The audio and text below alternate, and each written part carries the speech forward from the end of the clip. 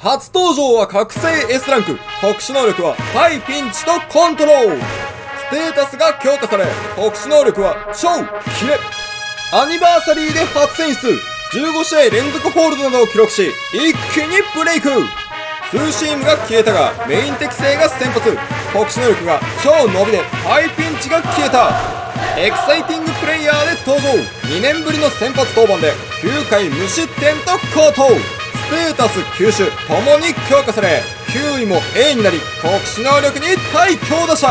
6月には初完封勝利を記録し高卒3年目にして低投球回をクリアした。2年連続アニバーサリーで選出。両リーグで唯一の防御率1点台。タイトルホルダーで登場。自身初のタイトルは最優秀防御率。プレミア中に日本代表に選出されセットアッパーとして活躍し大会初優勝に貢献。縦カットが消えツーシームが C に強化されたが制球は少し下がった。2年連続エキサイティングプレイヤーで登場。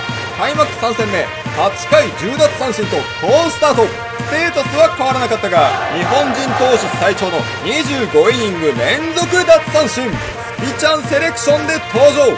終盤では31イニング連続無失点を記録。3年連続アニバーサリーで選出。契約更改では大台の1億円を突破。タイトルホルダーで登場。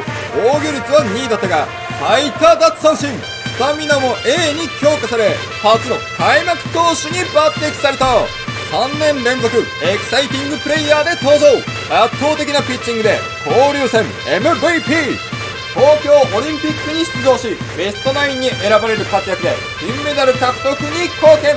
9位スタミナ同時に強化。6月から4ヶ月連続月間 MVP4 年連続アニバーサリーで選出。球団史上初の投手4冠。日本シリーズでも好投し2試合に先発で20奪三振。